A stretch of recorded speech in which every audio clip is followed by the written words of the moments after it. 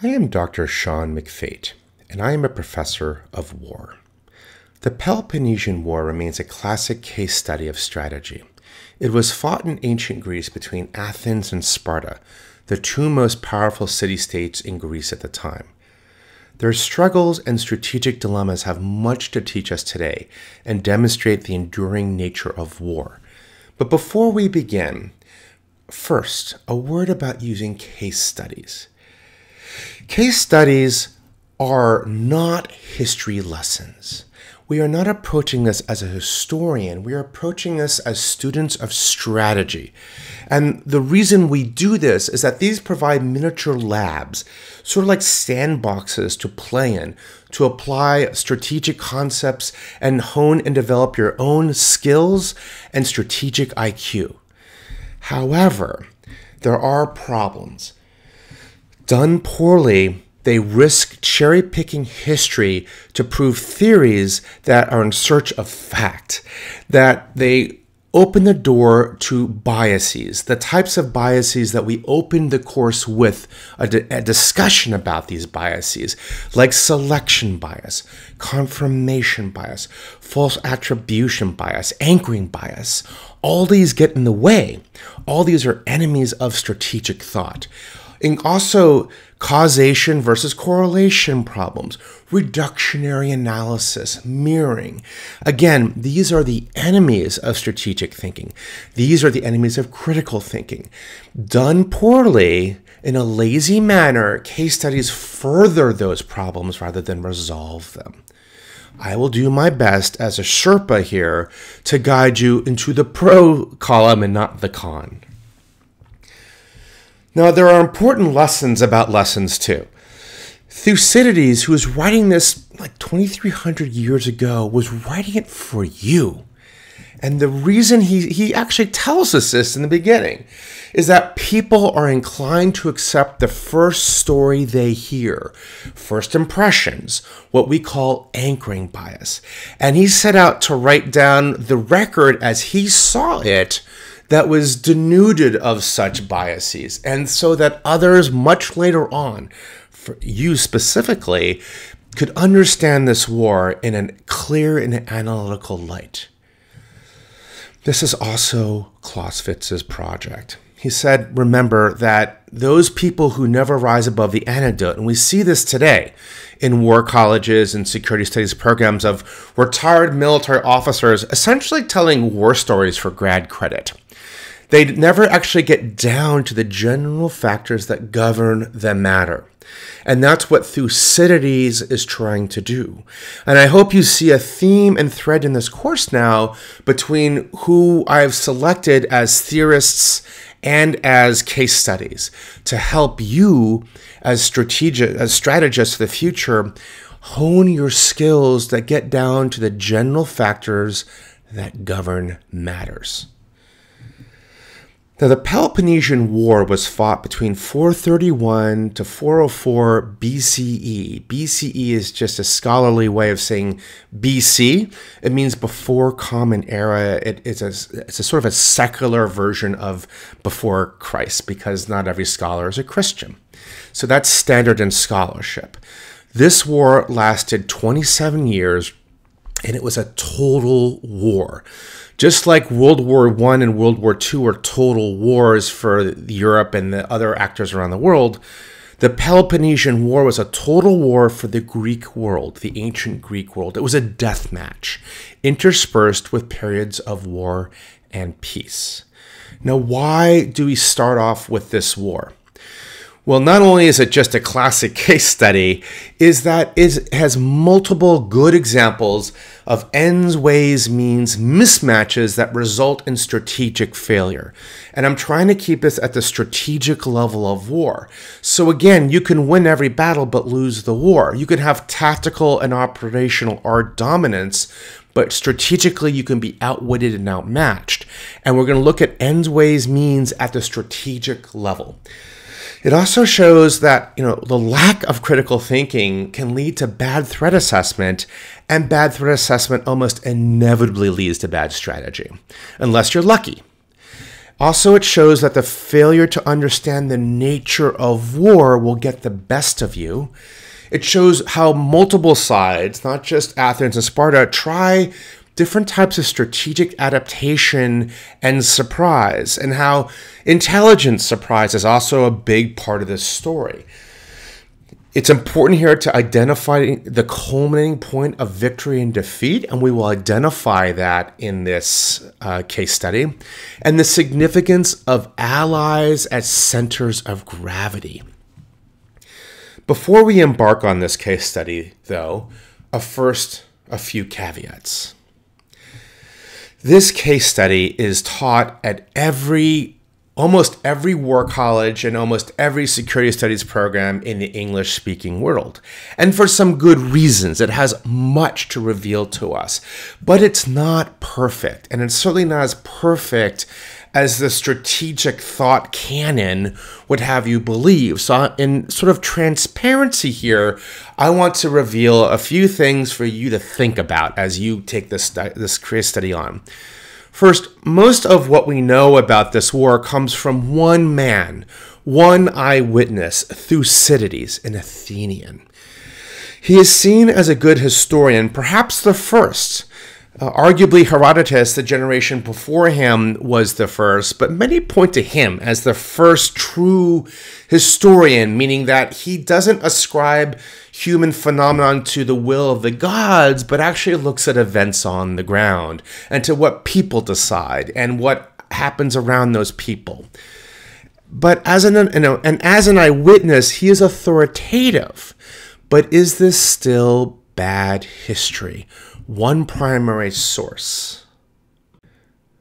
First, the book was never actually brought to completion. It is a thought that he died while writing the book, as if it stopped mid sentence, and it became notably less readable towards the end.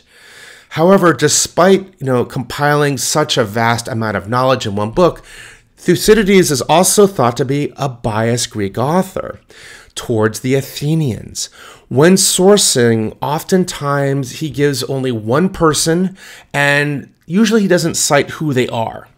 Uh, or we don't know exactly who they are. This makes it seem sometimes like he is trying to persuade the reader to a certain belief about the war, which would make sense from a military standpoint at the time.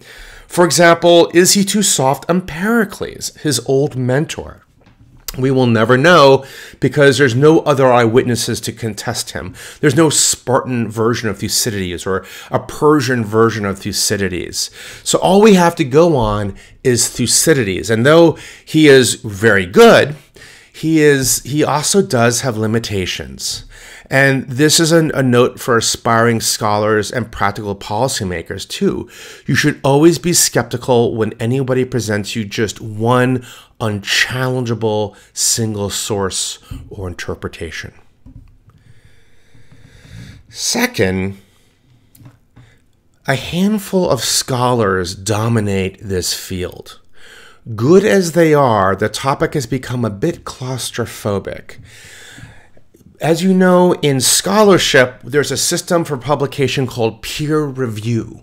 The idea of peer review is that your peers ju- uh, judge your work, whether it should be, you know, published or not, on the notion that you can fool your superiors, you can fool your inferiors, but you can never fool your peers.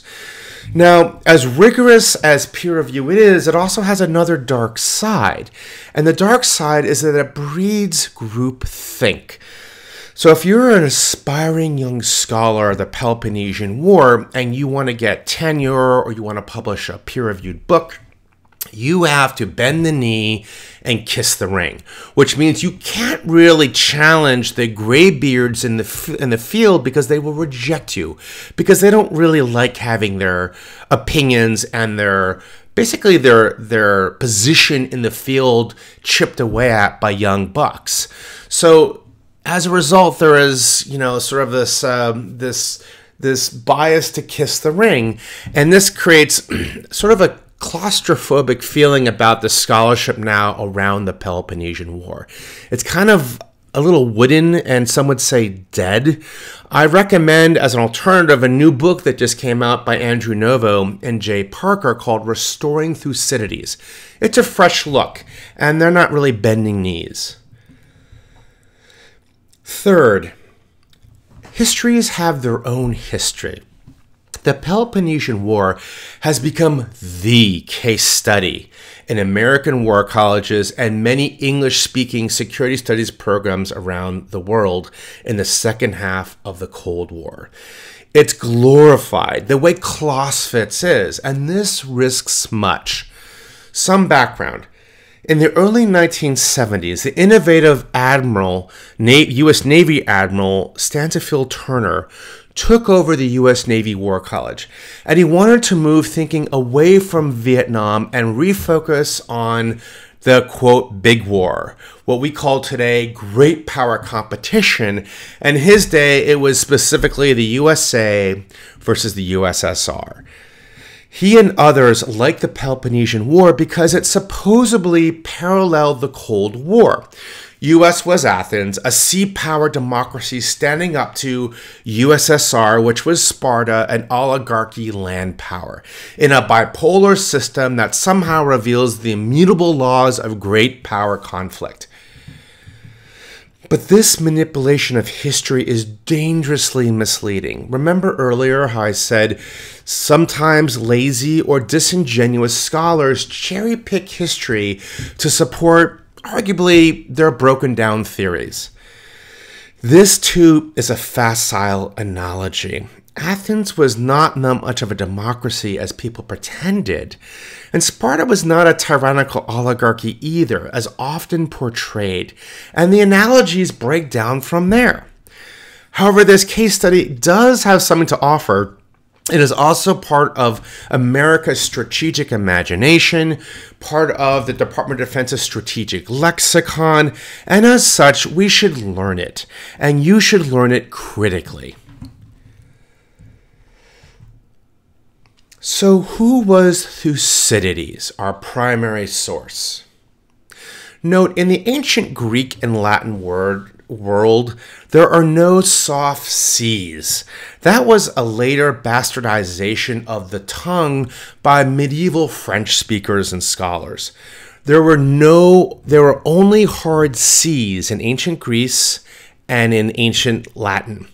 So, for example, it wouldn't, it would be like K, so it wouldn't be Thucydides, it would be Thucydides. Same for Latin. It wouldn't be Cicero, it would be Cicero. However, I will stick to modern convention and call him Thucydides. Thucydides was an Athenian, the son of Olorus. Is he comes from a he is without doubt the substantial source we have on the history of the Peloponnesian War. Uh, he is almost synonymous with the struggle. But who was he? Well, he was a member of the Athenian elite whose family owned gold mining concessions in the north. Just like many of today's elites, he was born into wealth, privilege, and connections. Athens, being a democracy, annually elected generals called strategos. The plural is strategoi. This is the root of the word for strategy. He was elected general in 424 BC during the Peloponnesian War, but then was fired and exiled for failing to defend his post when it came under Spartan attack. This obviously is contested by himself too, and we'll talk about issues of democracy in war. In exile outside of Athens, that is where he wrote the history of the Peloponnesian War, and we're th- thankful he did. It's not what he sought to do earlier in his life. He was ambitious, and this way he's a little bit like Machiavelli. Machiavelli only wrote The Prince um, when he was stuck in exile and didn't have anything else better to do. It's not his first choice. He probably died a bitter man. He wanted to be in charge of Florence. I think Thucydides wanted to be like Pericles, his mentor, a great general, a great statesman, a great leader of Athens, and not a shamed exile. But in his exile, he gave us the Peloponnesian War, the book, sometimes just called The History in Antiquity. So, like Herodotus, a generation before him, Thucydides has been dubbed a father of, quote, scientific history or evidence based history. And he talks about this up front. As he outlines in the introduction to his work, he tries to observe strict standards of evidence gathering and analysis in terms of cause and effect, without reference to intervention by gods, as poets and dramatists did at his time. His book was successful, and although he did not live to complete it, it remains an important part of the classical canon and is widely read through, throughout integrity. And he tells you what his purpose is up front. It wasn't done to curry local favor at the time, he was writing it for you. He was writing it for today. It, it's a sort of like a ghost from the past, telling us what happened so that future generations knew what happened there. So, why has he always been read? And even during the purges of books and the burning of the Alexandria Library by both Christians and Muslims alike, and the, through the purge of intellectual knowledge done by the Christian church in the medieval era, Thucydides has always been read. He's somehow always survived. Some of this may be luck, but other people, there's other reasons too.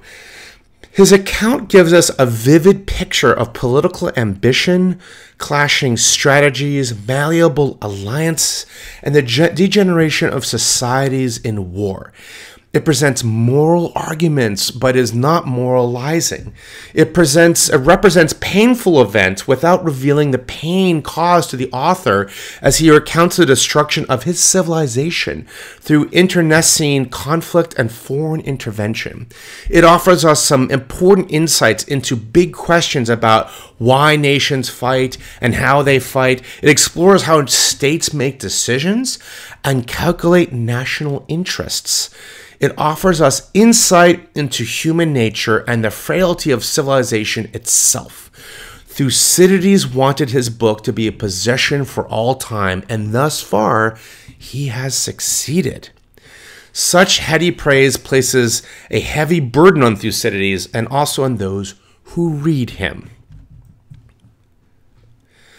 Today, we know him as a historian with quotable gems like, for example, like all democracies, now that they were terrified, they were ready to put everything in order. Such as, you know, when again he describes uh, a change of policy in Athens. Uh, or he also has schools of thought named after him, fairly or not. He is a father of political realism, which is a pragmatic school of thought in international relations. It views foreign affairs and as you know relations between states as based on might rather than right. Morality need not apply. There is only victory and defeat and the living and the dead. Again, Kautilya, Machiavelli, Hobbes. Not by coincidence, in fact. Thomas Hobbes was the first to translate Thucydides into English in 1628. Hobbes was another famous, quote, father of realism with his seminal text, The Leviathan. Many of you have no doubt read it. If not, you should. It's written in magnificent Tudor English. Thucydides' classical text is still studied at advanced military schools, security studies worldwide. Uh, it is also abused, just like Clausewitz is abused, perhaps the true signifier of fame. For example, Graham Allison's book, or infamous book, the Thucydides trap argues that somehow the US and China are destined for war based on Thucydides. Though a bestseller, it made both ancient Greek scholars and modern Chinese experts taste vomit in their mouths. Perhaps his most famous one line legacy today is the Melian Dialogue. It's the realist's anthem. Many of you can recite it in your sleep. The strong will do what they will the weak suffer what they must. Realism is a utopia free zone, and we will discuss the context of the Melian Dialogue in this case. So let's talk before we get to the war what led to the war. All wars have a beginning, and it's never when the first bullet or the first spear is thrown. This is the ancient Greek world. It's a lot older and bigger than most realize. Socrates famously said, We sit like frogs around a pond, and that pond being the Mediterranean. It dates back to the Bronze Age, at least 12th century BCE. This is what Sparta and Athens fought for to become hegemon of this world, not for absolute control, but for influence over this ancient Greek world. There are no states in the ancient Greek world, only city city states called a polis, or plural, polis. Many started as colonies of powerful city states like Sparta or Athens, but became independent of their parent polis, polis blood ties were kept as an affiliation, um, but this was not; these were not colonies. Say, like the way France held Indochina or Britain held India. Think of uh, these polises or polis as offspring. They they have blood ties to their parent, but they were independent too. Note where the where the density of polises or polis, I will I will interchange those words desuno polises, which is not actually correct. Um, the, the, it's in the Aegean, which is the home to ancient Greece, and also to Sicily. Sicily will become later important in this war. But you can see they go as far as Odessa to Marseille. These started as ancient Greek polises. Thucydides begins his story where Herodotus, the you could say was the father of history, before him left off. The first Persian War. So this is important background because Persia is like it is a superpower of the ancient world, especially in this time. In fact, Persia was a superpower from all the way from ancient Greece through the entire thousand year Roman Republic Empire into the Muslim era. I mean, ancient Persia was a force to behold, and it was at a strength at this time.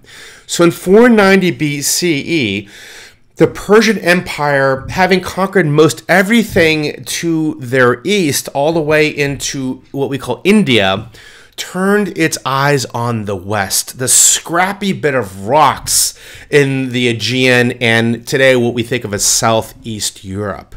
The ruler of the day was called King Darius the Great, also known as the quote, King of Kings a title Christians would later adopt for Jesus Christ uh, or Yeshua Christos because his because Darius's empire was so vast he was the king of kings many polis joined forces to rebel against the Persian invaders. Many of them were overtaken particularly on the coastline of what we think of western Turkey then called the Ionian coast full of Greek polis and they uh, in many ways uh, but but they they banded together on the mainland of Greece today to fight him.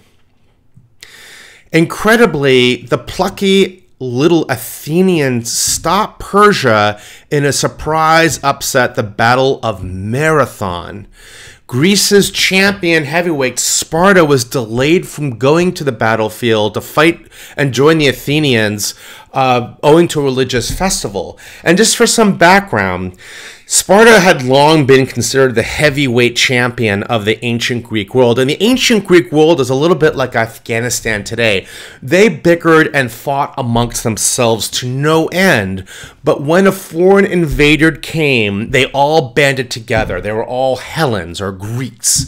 Uh, and as soon as that, um, you know, the foreign invader left, they sort of resided with their normal bickering. So this was an exceptional event of Sparta working with Athens, working with other for you know other policies like Corinth to unite to push back a foreign enemy invader. And everybody assumed that Athens would get wiped out because they were not known as a land power, they were known as a sea power. But they destroyed in a decisive battle um, the Persians. And this was the beginning of Athens' rise to power.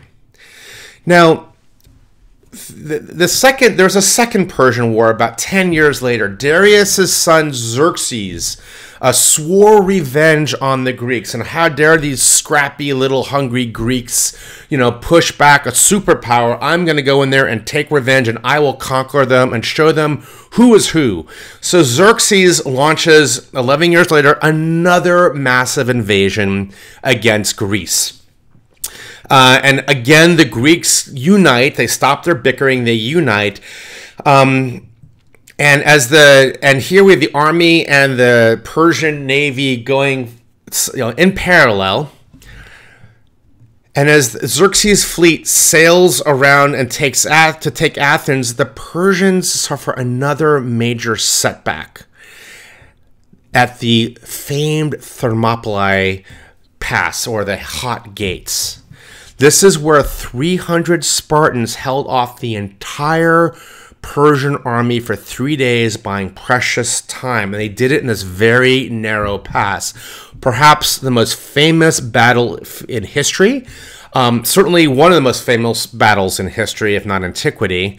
Um, meanwhile, Xerxes' fleet continues to sail around to take Athens, and it suffers another similar major upset a smaller Athenian navy scores a decisive defeat at the Battle of Salamis Bay outside of Athens.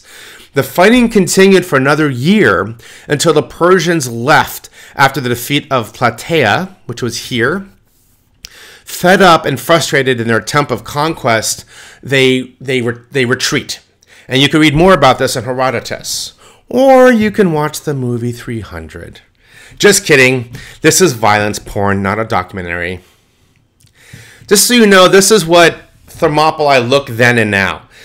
To the left is an artist depiction, and you can see like the huge columns of the Persian army being held up by 300 Spartans. Now, if you look at it today, that see where that road is? That that's sort of the ancient highway. It's still there. You can see the terrain features in the back. But where's the ocean? Where's the sea? Well, over the eons, it was taken over by sediment, and now it's it's actually dirt. You know, there's highways on it, autostrada. Uh, oh, not autostrada. There's highways on it. Um, so that's what it looks like now. But you can still see the ancient road. It's still there. And it's a great story. For those who are unfamiliar with Thermopylae, you should uh, look into it. It's, a, it's an amazing feat of bravery. So after this war ends, which is her, where Herodotus ends and where um, Thucydides, you know, picks up. We have the 50 years of peace between 479 and 435. This is also called the, uh, forgive my Greek here, the Pentecontaetia. And um, it is a period where the Greeks are very nervous about a third invasion of the Persians because the Persians are a superpower and they are good, and the Greeks are good and lucky, and they want to be prepared for this.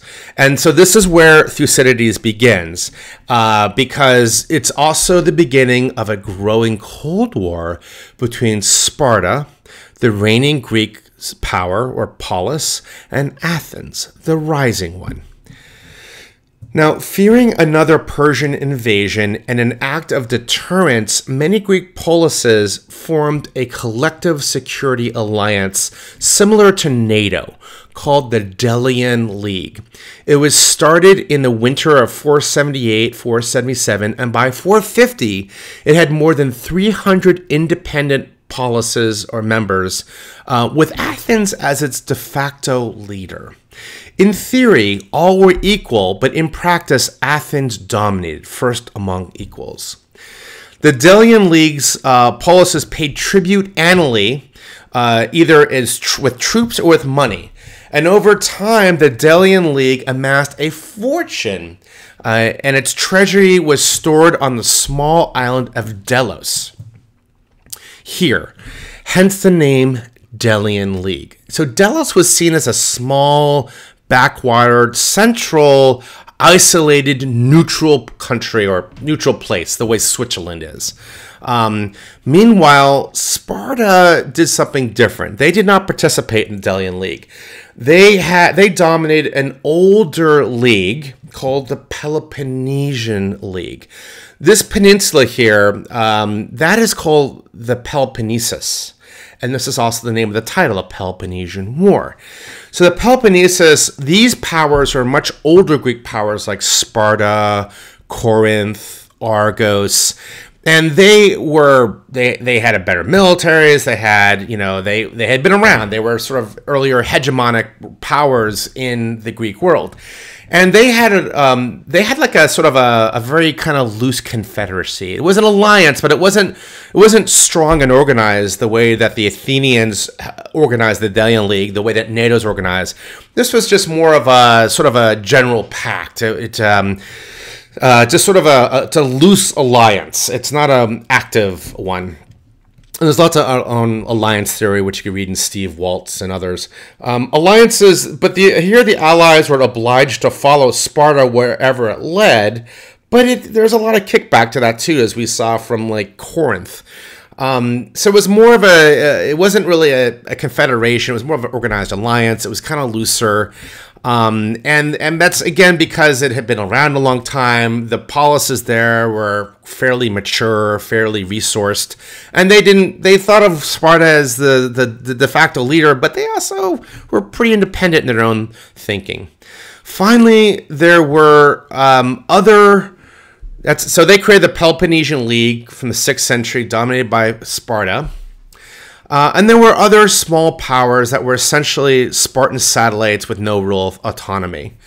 During this time, Sparta was seen as the raging, the reigning hegemon, and raging to some extent too. So as Athens grew in wealth and power, it did something that alarmed everybody in the ancient Greek world. It moved, some might say stole, the Delian League's very plump treasury and moved it from Delos to Athens, alarming, again, much of the Greek world. It marked three things. The transition from a Greek alliance to an Athenian empire, the rise of Athens as a hegemonic rival to Spartan, challenging the reigning superpower, and the beginning, really, here's the real beginning of, the, of, a, of a Cold War between Sparta and Athens that would eventually lead to a hot war 25 years later. And the reason I say it marked a transition from Greek alliance to Athenian empire is that a lot of these other polises around the Delian League were not happy with it. But using sort of, you know, Athens using a Machiavellian logic, Catiline logic, they did it because they could and the Delian League couldn't do much else about it, and the Peloponnesian League couldn't be bothered with it. So, what caused the war? The, the, we should have a whole course on the origins of war, right? Well, Thucydides names five reasons, but essentially he said it comes down to this the growth of the power of Athens and the alarm that this inspired in Lacedaemon, which was Sparta, another word for Sparta, made war inevitable. And this has long been called the Thucydides trap. It's not a term invented by Graham Allison, but it's essentially this idea that, you know, reigning powers and rising ones inevitably have to go to war. There's no peaceful rise of reigning powers. Um, and we see a lot of this in things in IR theory like offensive, offensive realism, uh, school by Mearsheimer, uh, power transition politics. Uh, this is not a new idea. It's not. It's not a new term. Again, um, it's become made famous because of Graham Allison, which is fine. But he really kind of to be honest, is a hack. Um, I will probably regret saying that someday. He was my former advisor at Harvard, but it, you know, there he's not the first. Uh, many people have said this before. Uh, on a side issue, notable scholars of the Peloponnesian War, like Donald Kagan, argue that the war was not, in fact, inevitable. That at multiple points, Sparta and Athens, their leadership could have slowed down the train, that they, they had other opportunities, other courses of action to choose. They made decisions. Uh, just like in World War I, you know, the shooting of Archduke Ferdinand in Sarajevo in 1940, 1914 may not does not inevitably lead to war the way that some scholars pretend. Leaders have decisions and power that they can make. They have some autonomy here. Uh, it's not just pure structure there's agency as well. So this idea that that reigning powers and rising ones inevitably go to war, I would ask you to think about that and question that. Are there counterexamples for that? Does the Thucydides trap even exist? Because even careful scholars of Thucydides say no. Actually, both powers had multiple opportunities to to veer off the road and take a, a, highway exit off in the off ramp.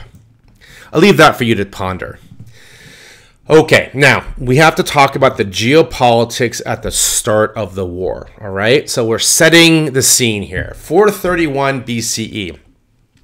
Sparta and Athens are at a, a pretty frosty Cold War. Um, they have been at the brink of war before. There actually is some conflict between them earlier. It's called sometimes called the First Peloponnesian War, um, but they sort of managed the conflicts back to peace. It wasn't didn't they didn't go to a total war. So here we go. So he, first of all, this is the ancient Greek world that we're going to focus on. Red, here's Athens, and the red the red uh, polises, that is the Delian League.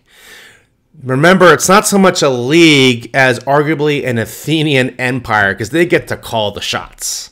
They get to call it. So they're in on paper, they're free to come and go, but in practice, um, Athens is leaning on them.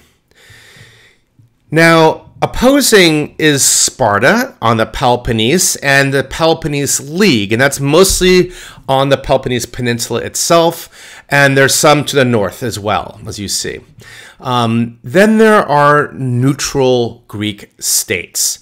There are four important neutral Greek states. There's Argos, which is on the Peloponnese itself, it was it and Sparta have a testy relationship because before Sparta became the hegemon, it was Argos who was the hegemon, and then Sparta and Argos fought over the centuries prior, and Sparta emerged on top. So Argos is still not to be trifled with, and they're like, you know, you think you're the leader, but you're not the leader of us.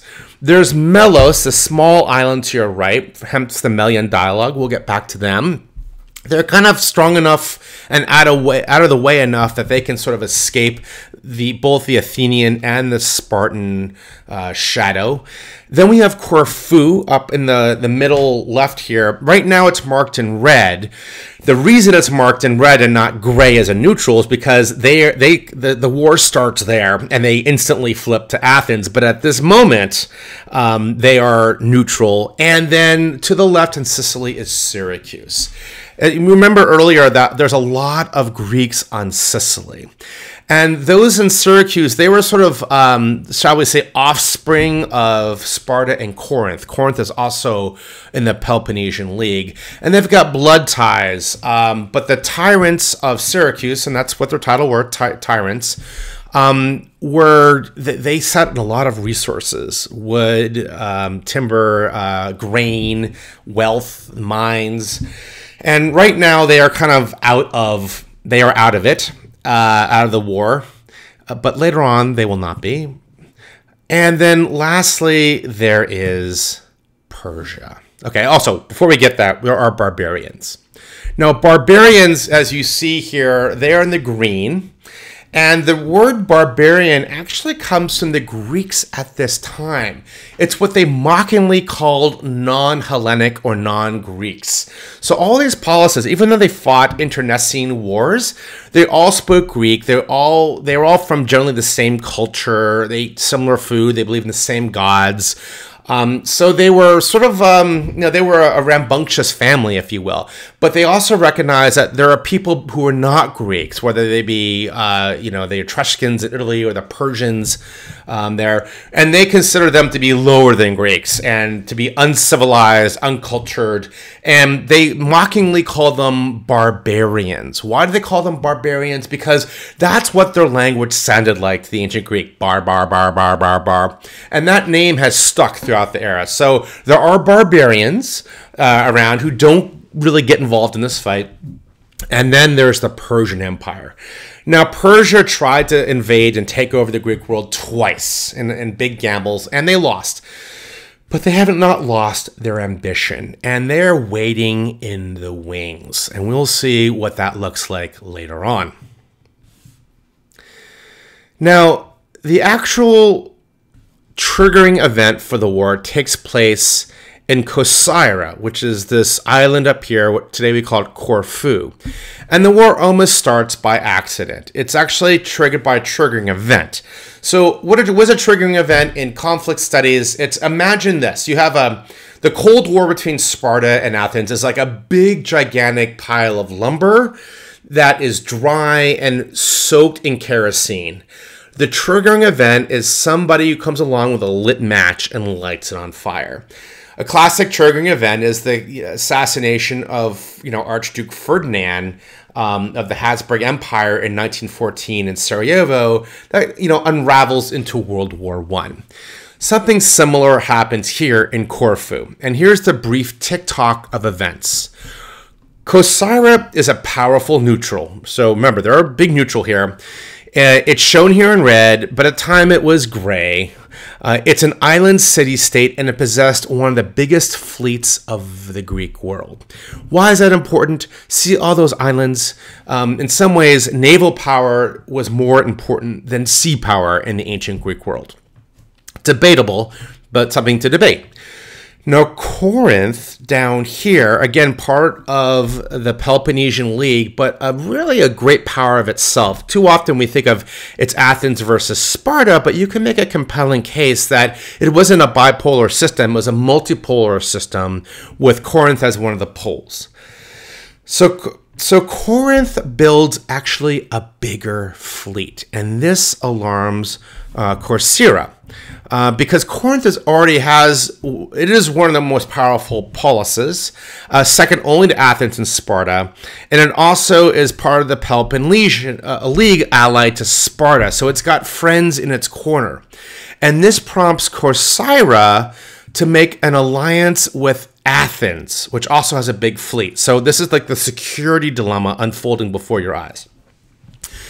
So they make a defensive, Athens and Corcyra make a defensive act uh, for deterrence reasons. So if you attack Corcyra, it's like attacking Athens. Athens will send its large fleet to double up with Corcyra's large fleet, and that should put Corinth back in its box. That's the strategic logic of, of, the, of the deterrence pact. Um, but this, of course, alarms Corinth uh, because it upsets the delicate balance of power between Athens and Sparta. So perhaps in preventative war, and preventative war is always a dubious concept, a controversial concept. Um, it was used, for example, in Iraq of 2003, not to be mixed up with preemptive war. Preemptive war is more like a spoiling attack. Pre- preventative war is that someday we believe we're going to go we're going to go to war with somebody else, this you know person X, and we're at the moment stronger than person X. So let's get it done and not wait till person X gets even stronger. So that's the logic behind preventative war. It has lots of problems, as you can probably no doubt figure out. Um, so perhaps for preventive Corinth sails to conquer Corcyra, betting that Athens will not go to war against Sparta over it, because remember, Corinth is also aligned to Sparta.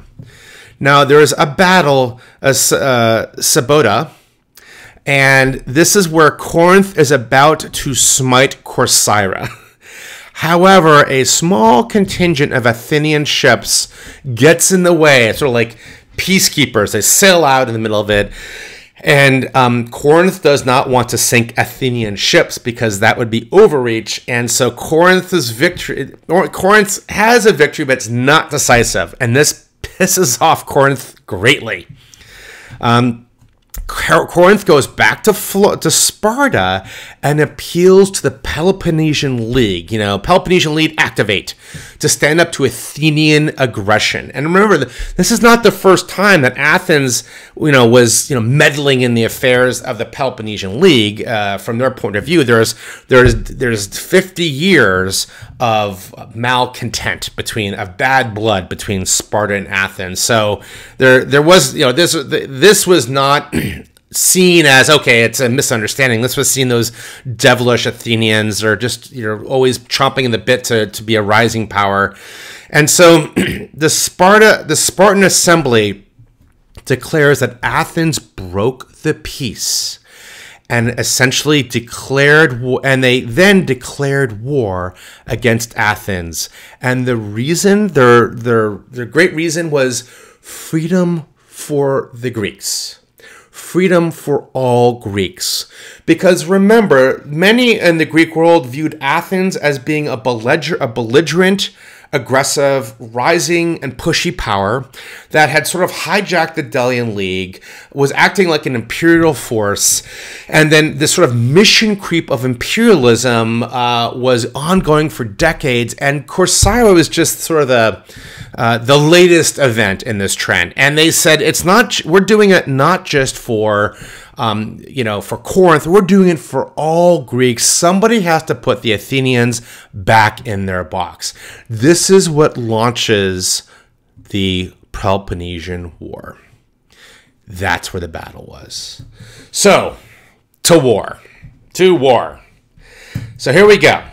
Now, the two most powerful city states in the in that system in that world there two different cultures. Yes, they spoke, you know, Greek and they ate similar food and they had similar gods.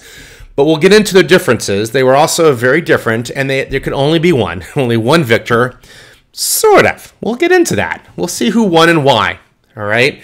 Um, now, just to begin with, both, and tell me if this sounds familiar, both powers, Sparta and uh, Athens, thought this would be a short and decisive war.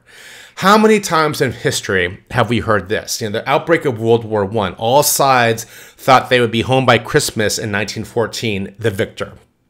Um, so many wars have been started thinking it'll be quick and easy. Donald Rumsfeld helped push the war in Iraq in 2003. He assured the world that it'll be done in a few days or weeks at the most, certainly not months is what he predicted and promised in 2003. Uh, arguably, the U.S. is still embattled there 20 years later. So, how many wars in history have been started with the false assessment that this will be a very quick and very easy war? We don't even have to sweat. So, let's look at the two sides. Let's first look at Sparta. Actually, not too impressive, right? But looks can be deceiving.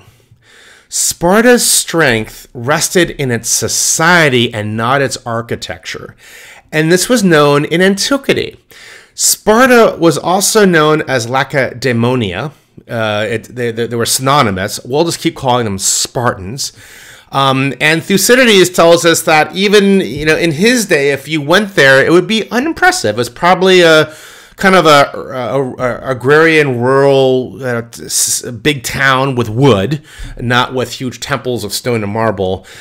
Um, but that you'd be wrong to underestimate it. Uh, yes, it was an agrarian economy with a conservative culture. It was a rural society. Its power traced back to the 7th century BC, uh, BCE, when it conquered the western Peloponnese, the area of Messenia. Uh, and by the end of the 6th century, Spartan had taken over the entire Peloponnese, uh, including Argos, which had been the reigning sort of great power polis at that time. Hence the the enmity between Argos and Sparta. They never Argos never got over that. They're like we are still really in charge. Sparta is the upshot, not Athens. Um, so the, the Spartans then then ruled as feudal overlords of the of the rest of of Messenia, um, who were reduced to serfs, often called helots. So it's ironic because these helots were like serfs or slaves. Sparta was the only Greek polis to basically enslave other Greeks. Yes, the Greek world had tons of slaves, but they were barbarian slaves. From their point of view, they were second rate human beings, to be truthful about it.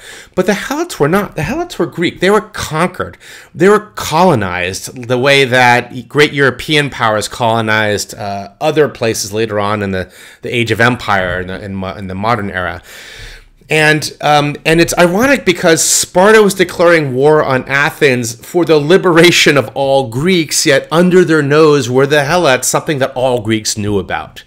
Um, and in fact, not surprisingly, as the historian Xenophon, not to be confused with the um, the Persian leader Xenophon. Xenophon was a very popular name back then. Um, he said that the the the Helots would have gladly eaten the Spartans raw. There was so much hatred towards the Spartan, their Spartan overlords. And, you know, to keep the Helots in line, Sparta developed in part into a, um, a very well equipped army security force uh, to dominate its neighboring city states and to to to basically rule as overlords. So they became sort of a military feudalistic society with them at the top, where they honed the skills of combat and organization, and the helots work like serfs to provide the food and to provide wares and so forth. So it's sort of medieval that way and their warrior ethos in itself becomes the, a, a, symbol of strength and not just a symbol but an actual source of strength. Their culture was formidable. In fact modern militaries are still based in large degree on Spartan warrior ethos and Spartan military culture. They inspired the Romans. The Romans inspired, you know, uh, Middle Ages, and uh, and so it goes until to this day, a lot of our military commands can trace their roots back to like you know parade rest. Uh, you know, it's they they trace themselves back to Rome and back to Sparta. So it made Sparta strong with its warrior ethos and the skill of its army. Spartan boys around the age of seven would be separated from their parents and would be go into they would join the army. They would live in barracks and train to be super soldiers, sort of a think of like Ender's Game or something like that. The word Spartan today still exists in the English language to describe their lifestyle 2,500 uh, years later. I mean, how many other words are like that out there? Spartan mothers, although they were grieved to see their sons torn away from the bosom, you know, at age seven, um, they also were part of this culture. And they, when the when the boys and the men went off to war, which is the highest honor every Spartan could hope for, a good death. Um, some some ways like a samurai society there. Um, they would present the mothers would ritualistically present a shield to their their you know young son, young man's son, and say, "You come back either with this." Or upon this. So you become victorious or you become dead. You don't you're not a coward. There's no greater sin in Spartan society than being a coward. Um, so of the if you remember of the legendary 300 who stood up against the whole Persian army, well, they, that's the way to go out, you know, in a flame of glory. There are only two survivors, both of which were shamed for life because they ran away, they abandoned their post. One was called uh, Aristodemus, the coward. he was known as the coward.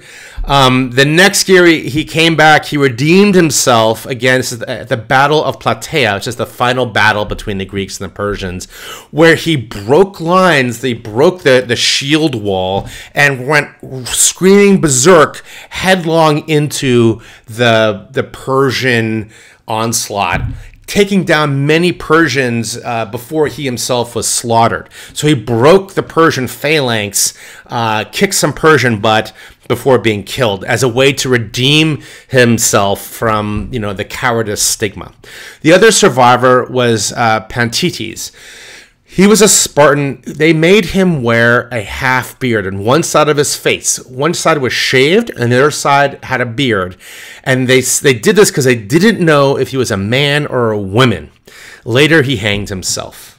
It's also to know that um, in ancient uh, ancient Sparta, unlike many ancient uh, says that the women had a lot of autonomy.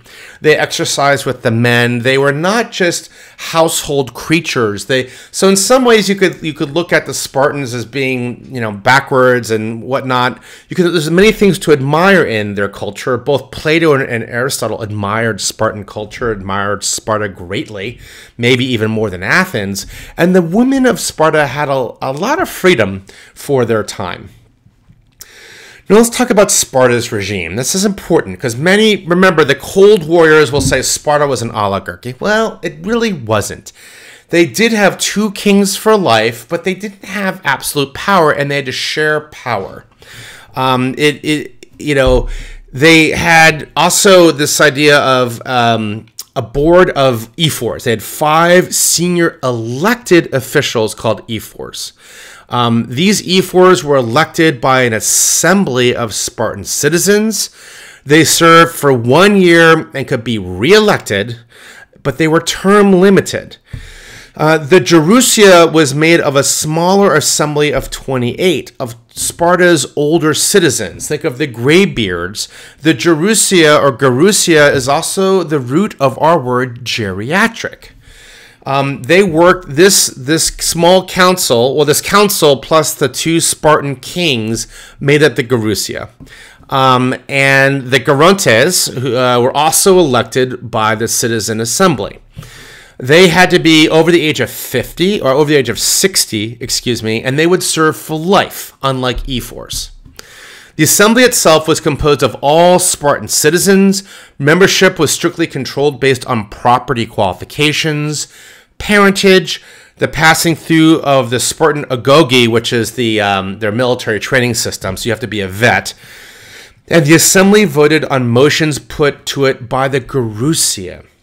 So it is not exactly an oligarchy as often portrayed, not really a democracy, but not an oligarchy either. Culturally, Sparta was famous for its modest and conservative values. Some scholars believe Spartan, again, women enjoyed more liberty than women elsewhere in ancient Greece, including Athens. So let's go to Athens now. Wow, pretty cool, right?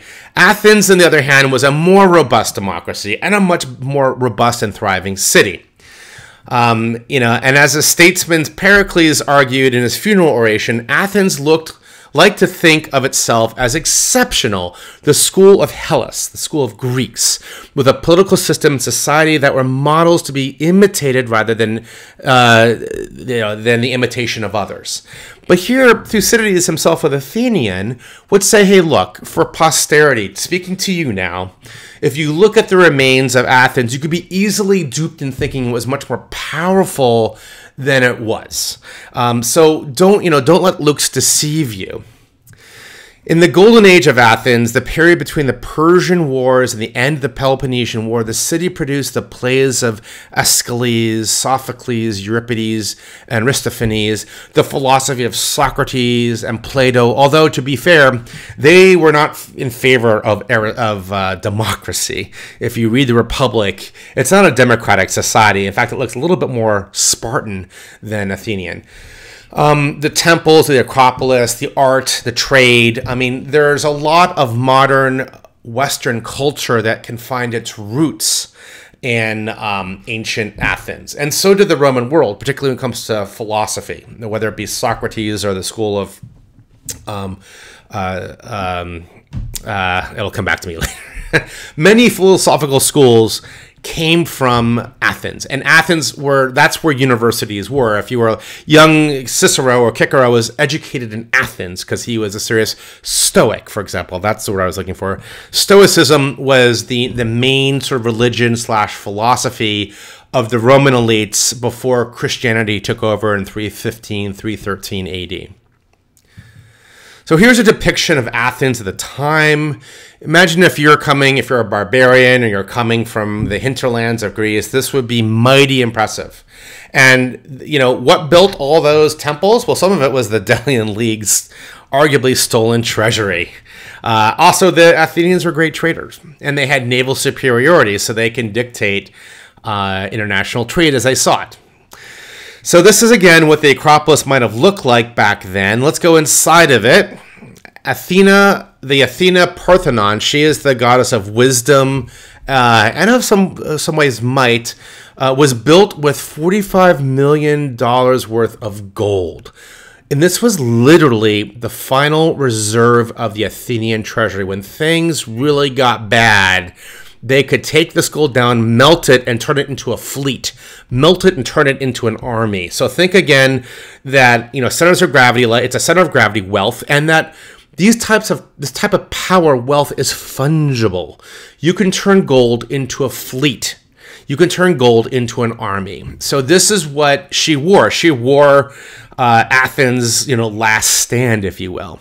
And also her her skin was ivory.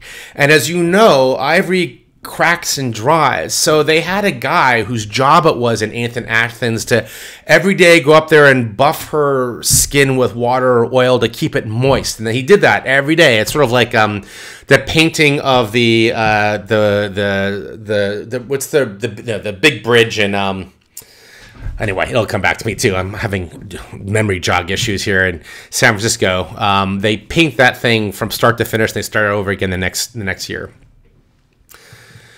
Okay, so let's go to Athenian politics. It is not. It isn't. It's a democracy, as you know. Demos means from the people. It's a body of citizens. That's their elected assembly, if you will.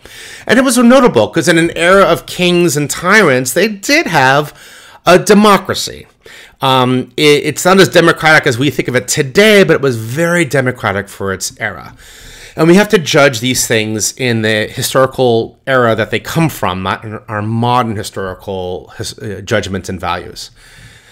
It placed power in the hands of the people, the demos, and Thucydides discusses how this impacts the war, strategic decision making, and also what happens to democracy as war goes on. Um, and the lessons we can learn about de- how democracies fight wars still resound today. Still resound today. And the problem of, say, demagoguery uh, and, and, you know, are you know, can you have strategy by committee? Uh, all these come to the forefront in the Peloponnesian War. Athens endured it 24, 2300 years ago. So during the time of, you know, also, also Athens was also an imperial democracy. So she was quite, or he was, the, the, the polis was quite democratic relatively within, but Athens was not terribly democratic with its allies. And so there's a hypocrisy there too, just the way that you had Sparta of the Helots fighting for liberation, you had uh, Athens, the democracy, not treating its allies democratically. So during the time of the Peloponnesian War, the primary power for decision making rested with the assembly of citizens called the ecclesia. Later on, Christians would use the ecclesiastic as the name of the church, the congregation. It comes from the ecclesia here. Uh, they were adult men who had completed their military service, so they were vets. Others, of course, were famously excluded from Athenian democracy. Women, freemen, free slaves, resident foreigners, slaves, they were not uh, members. They could not vote. So it was not a perfect democracy.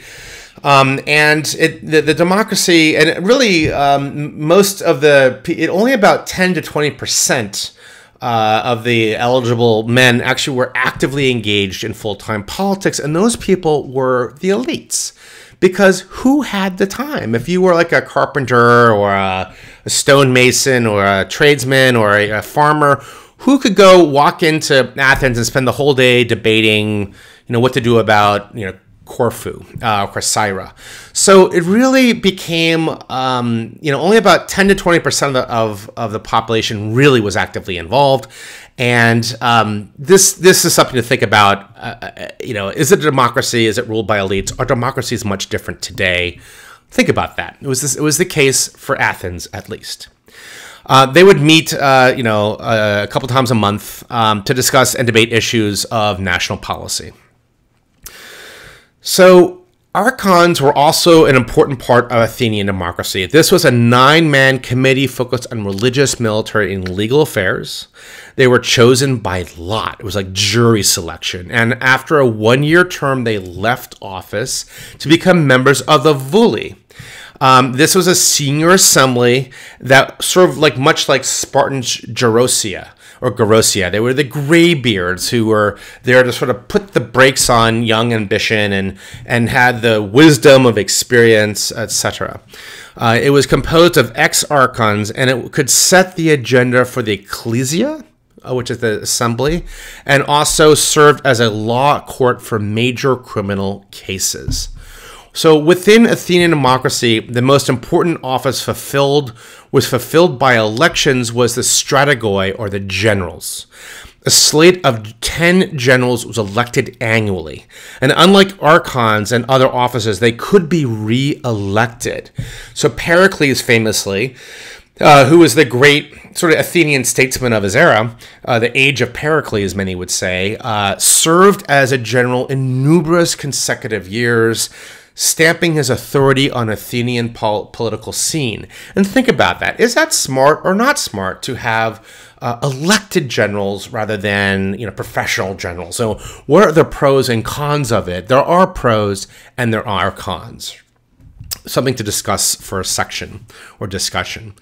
So, like all democratic systems, ancient and modern, Athens feared tyranny and the concentration of too much power in the hands of any individual or small minority. This again is like think of Madison's uh, the Federalist Paper number ten. How do you uh, you want to protect minorities, but you also don't want them to take over and hijack the the society at large. So to further to mitigate this threat of a small minority or individual sort of taking over, they invented the institution of ostracism. Now, this took place at the end of every year, and the assembly would would be asked if they wished to expel any citizen from Rome, any, no matter how powerful, wealthy, rich, uh, you know, whatever, influential, and if the assembly voted yes in sort of a secret ballot, the ostracism vote would you know uh, it would take um, it would take place two months later. Uh, during the vote, citizens would, would present an ostraca. So this is the way it worked. Is every if, if they decided that you were going to be you could be ostracized, two months later they would have these big jars, and each jar had somebody's name on it. The person who was to be ostracized. So it could be McFate or it could be uh, Biden or it could be Trump or whomever, right? To not to be too political, but that's the context of it. Like nobody was safe, right? Um, and people would who are members, you know, the of the demos of the assembly, again males, they would drop a piece of shard, a shard of sh- a broken sh- uh, pottery into that big urn, and at the end of the day, they would count who had the most um, you know, shards against them. And if you made a threshold, you were ostracized for 10 years. So uh, that meant you were exiled for 10 years. You could not step foot within Athenian ground.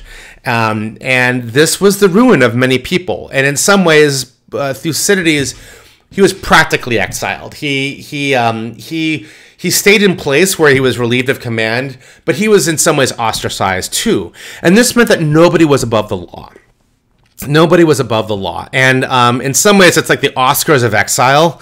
And people game it just like they do the Oscars today. So if you had a political enemy who was up for ostracization, you might print, you might skip, print shards or have pottery making with their name on it and hawk it with free food and free gifts like popcorn or sausages and say, hey, if you vote, if you vote yes for my enemy, here's a free hot dog. So there was all sorts of, you know, carnival-esque uh, festival shrewdness going on at these things.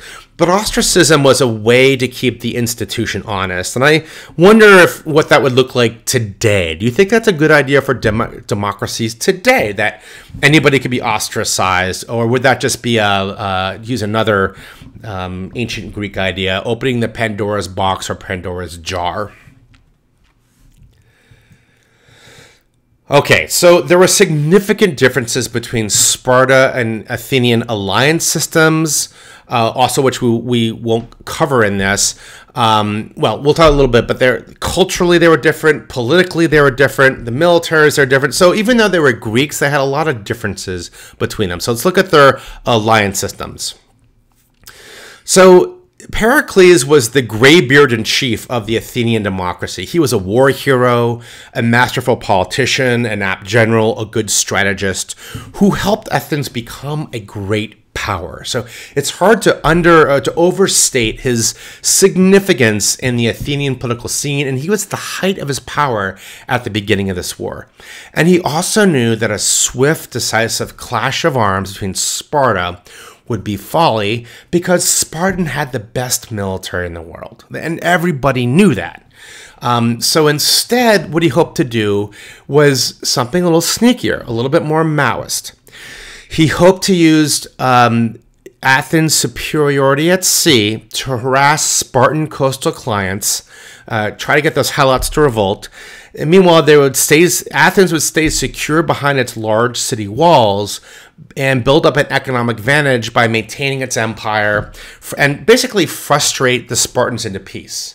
And so their victory basically was you know, we just want Sparta, we don't want to defeat them. We just want them to acknowledge us as a peer, as a near peer power and that we are not going away. So we it's it's a Maoist strategy in some ways and a Maoist victory. We win by not going away. We force Sparta to acknowledge Athens as an equal. Now, here was their assessment of Sparta, and it was, I would say, fairly accurate. We'll judge how this goes. They knew that hoplites, which were the foot soldiers in ancient Greece, you had something called hoplites, that, that Spartan hoplites and tactics and military, it was unbeatable. Nobody could beat them. Uh, and that Athens had a pretty good military, but it really was no match. Um, but that ultimately, you know, Spartans were just farmers uh, who accumulated no wealth, no culture, no, and they could not sustain the war. So they could wage it because they had no wealth and they were agrarian and they were backwards. They had no, they couldn't really sustain it, and this limited them to short campaigns due to a threat of a Helot uprising. So remember, they kind of evolved their militaristic culture to keep the Helots productive and subdued, and the Helots would eat them raw if they could. So what this meant is that they could practically wage war uh, in like 28 day TDYs, meaning that they would take a you know a week or so to march to Athens from Sparta. They may have you know two weeks or 10 days on the ground waging war against Athens or Athenian uh, you know villages, and then they would have to march back to Sparta to make sure those helots didn't uprise. And they would do this in rotating units so that there was always, Sparta always had a, a presence in in the Attica, which is where Athens, the countryside of Athens, but never they really had a divided army. They had to split their army. Some of it was security at home, and some of it was to do force projection. Also, the Spartans had no navy; they lacked command of the sea, um, and this was a weakness for Sparta. And the Peloponnesian League also was slow to act. It was, like I said earlier, it was kind of this this old behemoth. It wasn't uh, it wasn't a, a honed organization that could you know can move with lightning speed. It was slow, and this would give uh, Athens and the, and the Delian League strategic breathing room. He saw the nature of war would be fought and won at sea and he thought that this would take, you know, maybe at the most three to four years to exhaust Sparta, because he knew that Spartans are stubborn; they don't give up easily. He thought that, you know, we could just hold them at bay, uh, for, and after three to four years, they'll get tired of fighting us and accept the inevitable that Athens is here to stay. Um, but that this war would be expensive. This is not going to, you know, this is going to take a lot of uh, money and a lot of resources away from the Delian League, uh, which Athens really commanded. So Athens and the Delian League. So think again of the Delian League as an imperial democracy by this point in time. Uh, it has a unity of command through Athens. So it has like a hub and spokes decision making model. Um, but you know, in truth, that many of Athens' allies, quote unquote, were ready to revolt. They were not much better than the Helots. They would, um, any chance they got, they would, they would, they might break away, and there was a risk of defection. And I think Pericles knew that. The centers of gravity for Athens were this. Athens had unmatched wealth that and that the not just the Athenians but all their sort of we'll say colonies paid them tributes uh, or contributed forces. So they did have um, a lot of resources, both in wealth and military. They they were they had naval superiority, 300 warships, and what Sparta was to land war, they were to sea war. They were trained, they were organized, they were good. And they needed, just like great power Britain, they needed to have naval superiority to, to maintain trade routes with the Delian League, to maintain uh, command and command and control. So that, that's why they became a sea power. They evolved into a sea power. They also had good allies, again, wealthy military. They had 30,000 troops. Um, and then they had the Athenian walls. Now, this was a big deal back then, and there was a there was a uh, the sort of the first Peloponnesian War that took place in the I think that four you know around 440 450 kind of centered around these walls. Now, what is a wall? Who cares, right? It's just a wall. Well, this wall was particularly amazing because it was a huge defensive strategic weapon. And think about that. There are defensive weapons, defensive by nature, but they can upset the balance of power. Just like when the US puts Patriot missiles in Taiwan, um, China sees that as a threat, even though it's, a, it's a, Patriot missiles are inherently a defensive weapon. Same with these walls. These walls connected the port of Piraeus, which was the Athenian busy and bustling port, with the city of Athens on the hill. And, and these walls were big and they were pretty impregnable. Why did these walls matter? It means that Athens was siege proof. And remember, siege warfare, even though it's the Sun Tzu would say the least effective form of war, it's of Sun Tzu's hierarchy of strategies, it's number four, the worst, but effective. It was very common. Uh, in the ancient world, it was common in Middle Ages, and arguably it's common uh, up, up, up until recently. Is it common in the future? We can discuss that. But what this meant, as long as as Athens had uh, a commercial empire and naval superiority, they will never go hungry because they can import grain from anywhere in the Mediterranean, from Egypt, from Sicily, from anywhere. And they did. And that means you could not starve Athens into submission. You could, you know, if you took out their navy, you could do that, but Sparta doesn't have a navy. The Peloponnesian League's navy, like Corinth has a navy, but it's no match for Athens, right? So that's why these walls were a threat. And as long as Athens had these walls, it could be pretty belligerent. It would have sort of what we call moral hazard in policy making, meaning, well, it could, it could, it could, it's like moral hazard is like owning, renting a car versus owning one. If you rent a car, you don't really take care of it as much. You can drive over train tracks full speed, you can drive over curves, you don't really care. It's not your car. Uh, if you own a car, then you're you're not going to drive over train tracks. You're, you're going to look at oil changes, etc. And so the, these walls, in some similar way, allowed Athens to be a lot more bellicose and aggressive than they otherwise might. And Sparta wanted those walls down. They'd wanted those walls down for 25 years.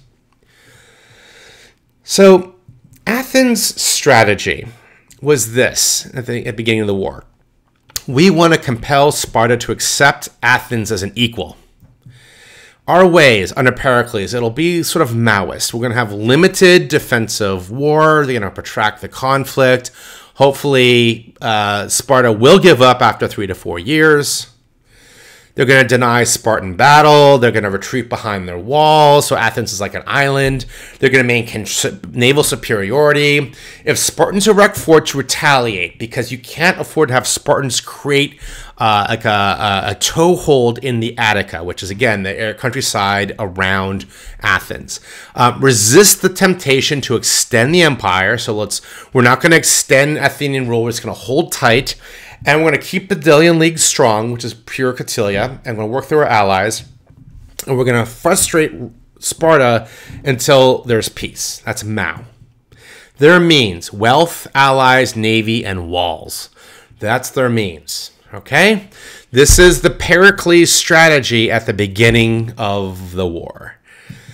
All right, let's go to Sparta. Sparta. So this is the Spartan king, one of them, uh, Archidamus, who is, I think, a pretty wise and good king. So he asks initially that the the exact question that Clausewitz asks says we should all ask: What's the nature of the war going to be, um, or the warfare? You know, if we can neither defeat them at sea nor take away their, them their resources on which their navy depends, we shall do ourselves more harm than good. So he thinks this is going to be a long war that'll be left to the children, and he votes against it. And he is overruled. He sees this war for what it will become. A little bit of a spoiler alert. And because he's a wise old man, I guess. Um, and he is overruled by the Spartan uh, assembly. So again, it shows you how it's not an oligarchy, kings with absolute rules do, acting as tyrants. A war party is sent out um, from Sparta to Athens to do a, a strategic assessment, at least an operational art assessment, and they come back thinking, "Oh, this will be an easy war.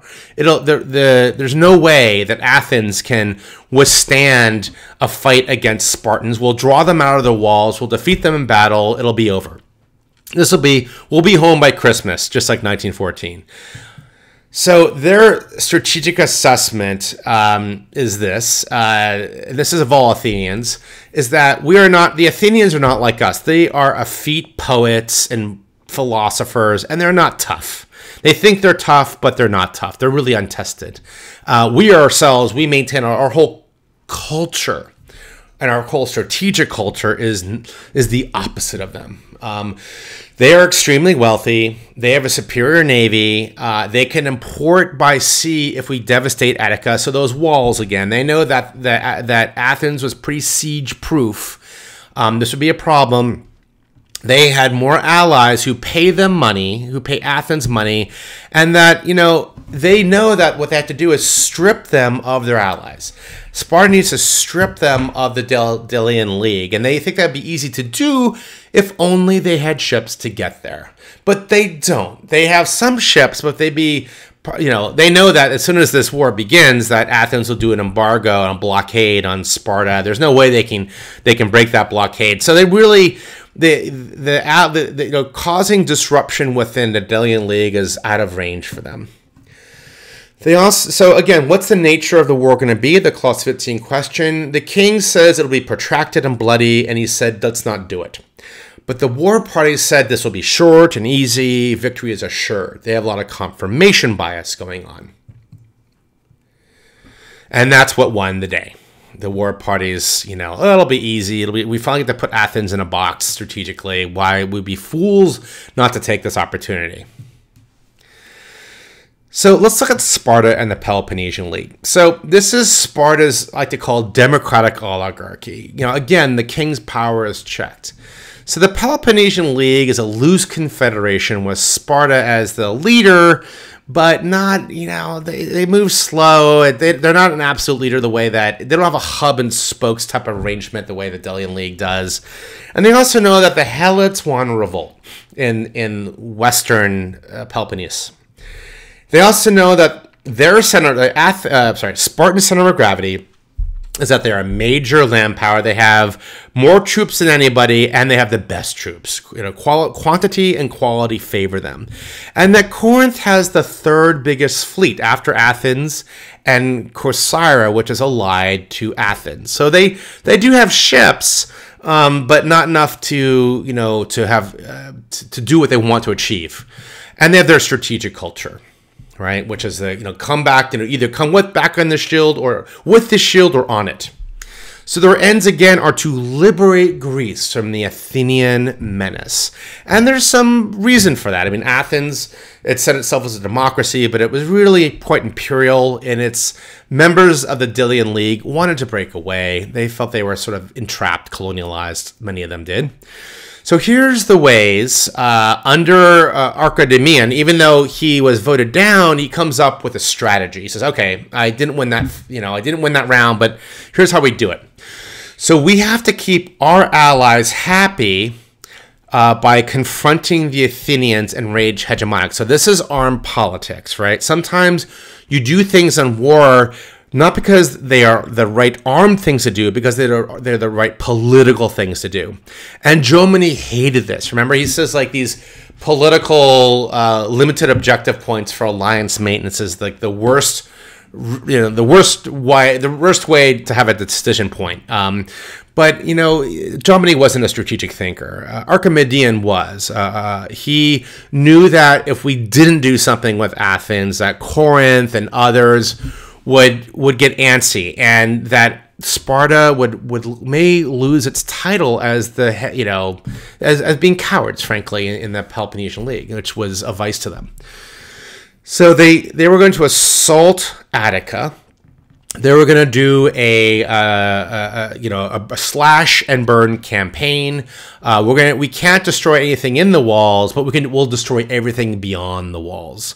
And if they are, you know, hopefully we can draw the Athenians out of the walls and defeat them in battle in a sort of a Clausewitzian Jominian logic who knows if they had psyops there taunting the Athenians, calling them, you know, weak poets and infantile playwrights, and you know, who knows if they were, what they were doing to try to taunt them out of the walls. Um, they were also going to undermine the Delian League as much as possible by encouraging support and encouraging rivals and encouraging revolts and they were going to seek assistance. They needed to build a navy. They knew that. So they can confront Athens at sea, especially from Persia. Um, so they were going to go to Persia and, and, seek help there. But remember what they when the first time Persia came to them, well, maybe the second time, they actually did. The Persians sent an emissary. I think it was um, for the second Persian War, saying to Sparta, like, look, join the Persians. It's inevitable the Persians are going to win. We'd like to have you fighting with us, and we'll make you sort of the leader of all these lands. Um, and and then it, literally the Spartans threw the emissaries down the well just like the movie 300. It wasn't as big a well, but they did throw them down the well. That was their answer. So here are the here are the means: uh, army, Sparta, the Spartan will, and the allies. That's what Sparta has to work with. Now let's do a strategic analysis. So let's do the war itself. And before we do that, this is called a shield wall. Uh, it's interlocking shields as a unit pushes forward. It has been a central element of tactical warfare from antiquity, like Sparta, until shields became obsolete in modernity. The Romans were very good at this too, learning much from the Spartans. All right, now, like World War I, the Peloponnesian War was a total war for contemporary Greeks. It was a death match. Um, the Peloponnesian War, which lasted 27 years, um, it, it grew from what they, what they thought would be limited wars into total wars of devastation. It has three stages um, that he breaks up. We'll call them the Achaemenid War, which is this uh, uh, named after the Spartan king, whose name I keep on mispronouncing. Then there's a break of peace, and then there's the Sicilian expedition. This is where Athens goes to conquer Sicily. We'll talk about what they were doing there and why. And finally, at the end of the war, the Decelean War, sometimes called the Ionian War. So let's start with the um, Achaemenid War. And this is the first sort of 10 years or 11 years of war. And this does not last. This war, as you can tell, it's not quick and easy, as the Spartans assumed it would. And it doesn't last a lot longer than three to four years, as Pericles expected it would. Athens refuses decisive battle to the Spartans. And as you know, and, and so they don't, and so they don't quit, as the Spartans had planned to happen. And Sparta sends war parties to Attica, but Athens does not, you know, capitulate as planned. So it shows you that your enemy has a vote in whatever strategic campaign plan you make, um, or any operational art campaign you make. Um, both the strategies underestimated the what the enemy would do. And as and also Sparta wanted to strip Athens of, ath- of, of allies, but it couldn't because it had no navy. Athens wanted to encourage Helots to revolt, but it couldn't because it could not sustain the revolts. So, like, Athens put up these uh, sort of like fires, but they couldn't stay around to, to, to keep let the fires go burn, and, and Sparta would come and put the fires out. Now, there was an exception to this later on in the war. Um, at a place at two places called Pylos and Sphacteria, which shocked the entire Greek world because here later on in the war, um, Athens landed an, uh, sort of an army there. Sparta sent an army, and the Athens were quaking in their sandals because nobody had defeated a Spartan army before, and they kicked butt. They kicked the decisive, two decisive land wins against the Spartan army, which shook Sparta, shook Athens and shook the Greek world. Spartans never lose. And here's an Athenian army on the back, you know, backyard of Sparta, and the Athenians beat the Spartan army not just once but twice decisively. And, and I think uh, 20, 424 BC. Yet this still it was not enough. This resulted in a strategic stalemate. Um, why? Some there's multiple reasons, uh, but some people many people point to this question of uh, the the you know sea power versus land's power. They have a means mismatch with the other. Their primary weapon systems can't it can't destroy the other. Uh, and they're fighting a mostly military campaign. So they have a whale versus elephant problem. You know, how can you achieve decisive battlefield victory if you're if neither weapon can graze the other? You can't.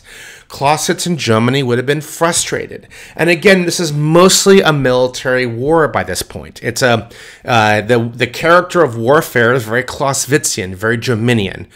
Also, second is that the Spartans just don't give up. They're not they're they're Spartans.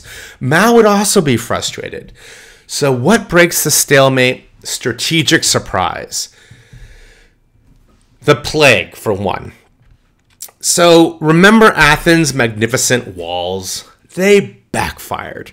Long war had produced poor hygiene and crammed conditions as refugees from Attica flooded into Athens to take shelter behind these walls.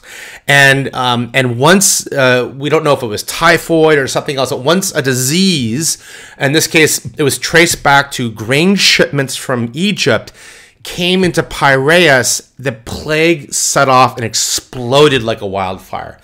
Eh, eh, like people were dying. Pericles died. His sons died.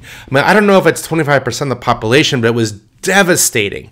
Um, and uh, you know, according the Spartans, you know, so it, it spread quickly and it was devastating. The Spartans also were exhausted. Uh, both sides exhausted each other. Um, according to Thucydides, quote, the Spartans, finding that their allies would not listen to them, dismissed the representatives and proceeded to form an alliance with Athens. This is what Clausewitz would call chance in war, perhaps the unexpected, and it leads to the peace of Nicias in 421. Now, Athens and Sparta agreed to a peace that would last 50 years, commonly referred to the Peace of Nicias. The, he's an Athenian who had probably more to do with this than anybody else in terms of making it happen. Who was Nicias? He was a central figure in Athens at the time. He was pretty stodgy, not flamboyant, and less is spoken of him than his contemporaries, perhaps. But he was more responsible than anyone uh, for the course of events at the end of the war, and I think you could argue he navigated them pretty well. Um, both sides had sort of basically, they're like two boxers who just couldn't stand up anymore. They're both exhausted. But there were problems in um, in in the Peloponnesian League, the Spartans were exhausted, and they really saw no fruit to this. The king was right, but the other their allies were they were furious. Corinth, Thebes, Elis, and Megara refused to sign the peace treaty. According to Thucydides, there was peace as far as those who had accepted the terms were concerned, but Corinth and various other cities in the Peloponnese were trying to upset the agreement, and Sparta found itself immediately in fresh trouble with its allies. Also, Sparta itself began nibbling away at Athens' sphere of influence. For example, Sparta won the Battle of Mantinea against Argos, uh, an old enemy, which we'll talk about. Um, but it had been pressing on, and, neutrals that had aligned themselves somewhat with Athens, and this was this was you know testing the limits of this pre, of this peace deal. But it wasn't just the Peloponnese League that who wanted more war. There was actually a war party in Athens too, and it was led by a very charismatic young man called uh, Alcibiades.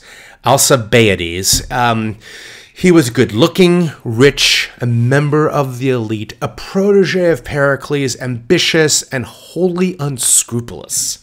He was notorious for his flamboyant lifestyle, his loose morale. He was like a bad frat boy.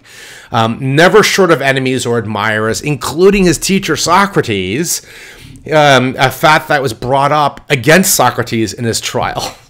So he led the uh, the Hawks Party, and they too wanted more war. Uh, they tried to reorient Athenian foreign policy back towards a confrontation with Sparta why did they want more war? This is the reason he gave. And it's a reason has been used throughout history. And it's a reason I want you to think about because uh, we see scoundrels use it and we see wise people use it. Where's the where's the link? It's the age-old strategic logic of preventative war preventative warfare and it's in its Kautilyan grand strategy basically if we sit you know if we are on top of the world today but if we sit still somebody will replace us. So if we don't go out and conquer we ourselves may be conquered and we've heard this again in our, you know, some version of it in um, the Iraq, the U.S.'s justification to going to Iraq in 2003. Um, how many wars in history have been started with this strategic logic? And what do you think of that? Is that a red flag for you? Or is that sound strategic wisdom? And in what context would it be either? the only so he says the only way to really stop Spartan aggression and eventual dominance, argues Al, uh, Alcibiades, is to go and prepare for war. The fight was far from over. And just as a war warning, I will keep on mispronouncing uh, Alcibiades. I will keep on pronouncing his name, so please bear with me. So, um, Alcibiades, uh, his weapon, though, was cunning diplomacy. Think of him as Kautilya. Um, he advocated dramatic shifts in the alliances, and the renewal of Athenian imperial growth. Remember, Pericles said we must refrain from imperial growth. It's a resource suck. Um, this, in his view, though, and Alcibiades' view, was the only way to assure Athens could defeat Sparta the next time the two states clash, which he thought was inevitable. So perhaps we should call it the Alcibiades trap rather than the Thucydides trap. But he had one problem. How can they start a war without looking like the aggressor? This is strategic thinking, armed politics. We see Lincoln confronted with this in the beginning of the Civil War. You have to wage not just an armed campaign, but a political campaign well. And it looks better if you're responding to somebody else's offensive act rather than you starting the fight. And you need this sympathy, you need this legitimacy to maintain alliances. War at the strategic level is armed politics. You can't just be a military general, you've got to be a politician as well.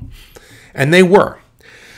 So their answer was there was to sabotage peace in a cunning way. Again, think Kautilya.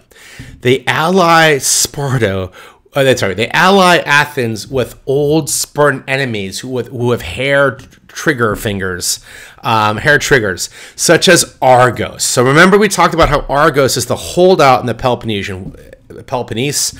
They were the, the sort of the hegemon of the Greek world uh, a century or two earlier until they were defeated and taken over by Sparta. They weren't taken over, but until they were defeated by Sparta, they've never let that goal go. And they were like, "Hell no, we're not parting. You're not. We're not part of a Spartans Peloponnesian League. We're fiercely independent." And Sparta and Argos have been at each other's throats for a long time. So, at, so the war party was like, "Well, we'll just align with them, and then we'll try to set off a war between them, and then we will have to come in as a, for our defense." Defensive pact on the side of Argos, and that will suck in Athens into a war with Sparta, and that will reignite the Peloponnesian War. Hooray! Right? So that is what they do.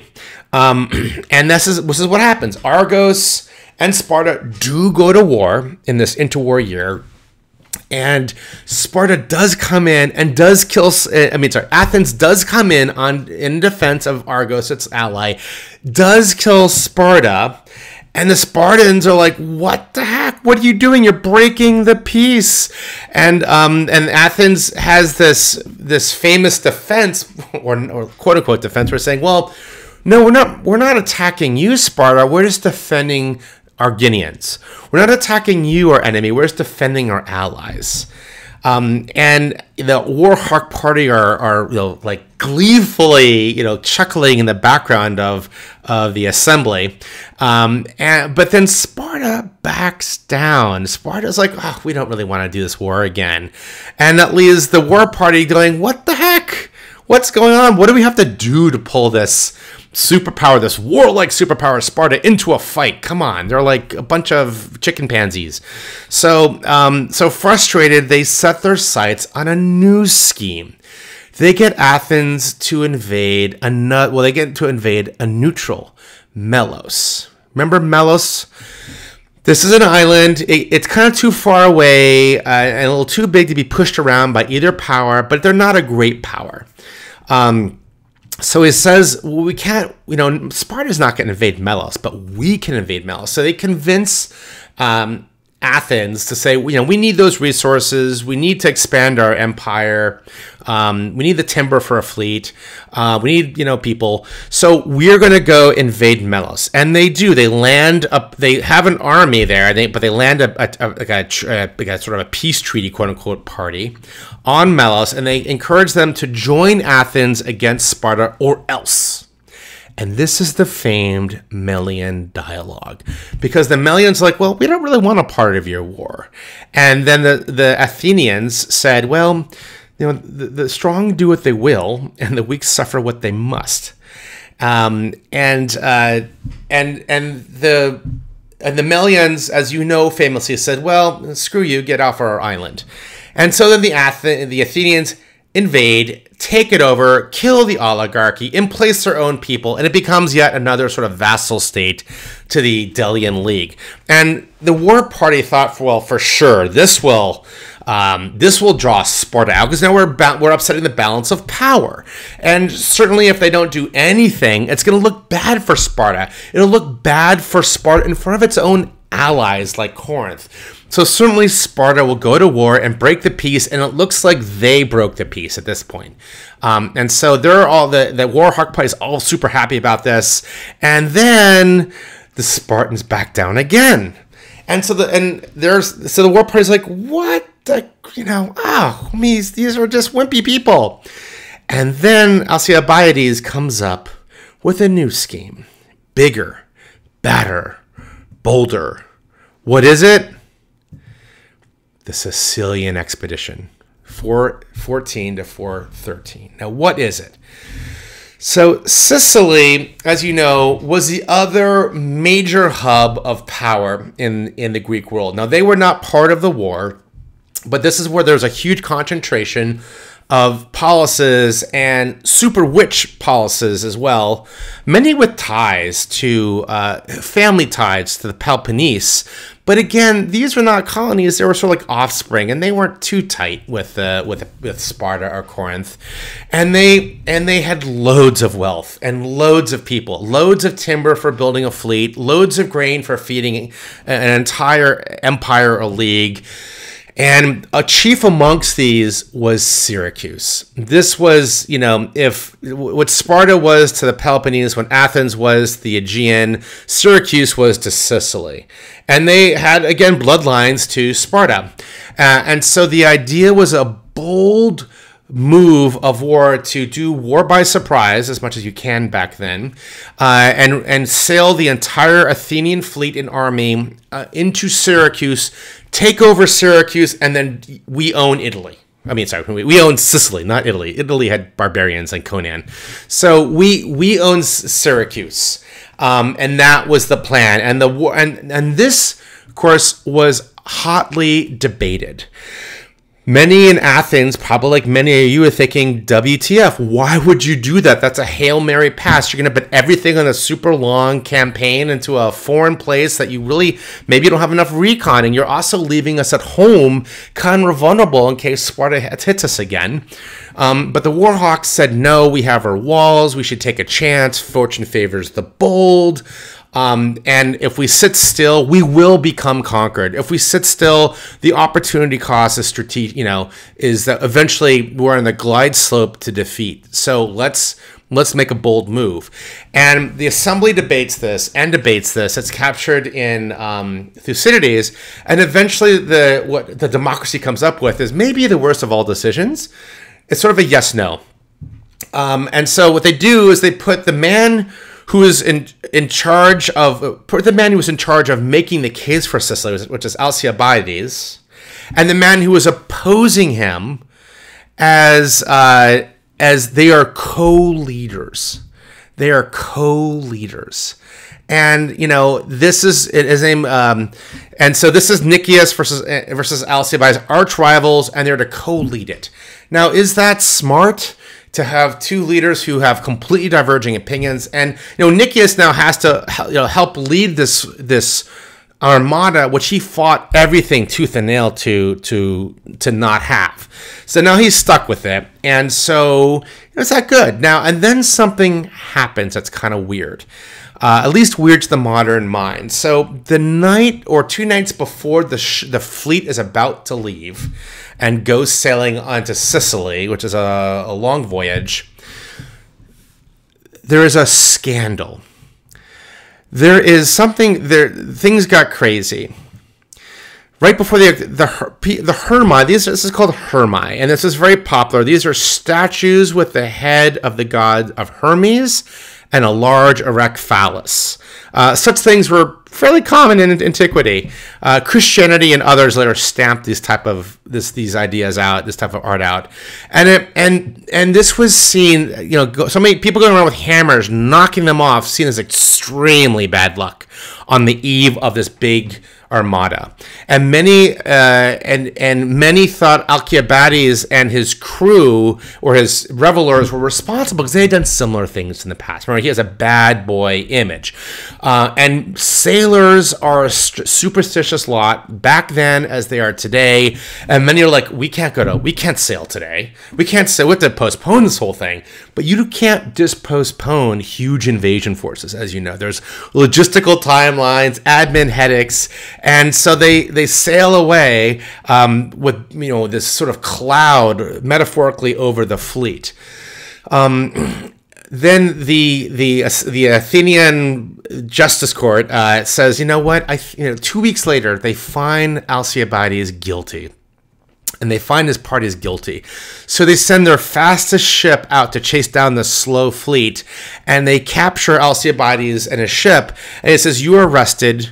You must come with us and stand trial."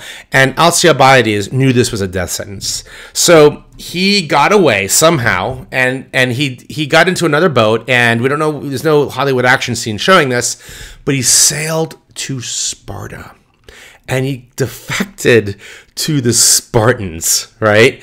Uh, and he t- told Sparta the entire plan. And the Spartans sent their fastest ship from Sparta to Syracuse to tell the Syracusians, which have blood ties, the entire plan. And and also Alcibiades says, "This is how you beat the Athenians." So so he uh, Alcibiades completely turns treasonous, and um and you know not not surprising you know what happens next. It became a strategic disaster for Athens. They walk right into the trap.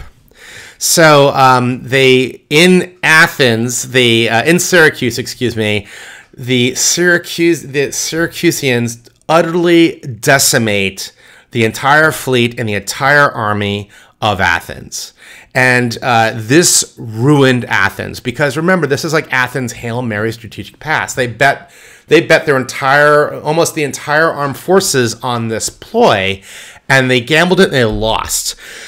Their military was destroyed. Now their treasury was bankrupt. The, the strategic leadership in Athens has gone awry. I remember Nicias, who was against this whole thing to begin with, had to fight it, and he died. Uh, and you know, um, and the Delian League now sees weakness in the Athenian armor and they start to revolt.